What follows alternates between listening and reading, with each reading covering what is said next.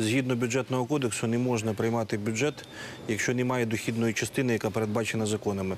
Закон про спецконфіскацію забезпечує дохідну частину майже на 50 мільярдів гривень.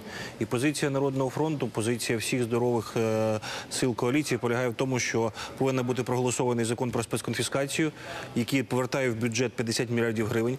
Крім того, повинен бути проголосований е, законопроект Бурбака Денисової, це законопроект, який розроблявся нашою фракцією, про передачу частини цих коштів, половини цих коштів 6 мільйонів пенсіонерів і бюджетників по 1400 гривень для того, щоб стабілізувати ситуацію пов'язану з тарифами, і половина цих коштів на оборонку.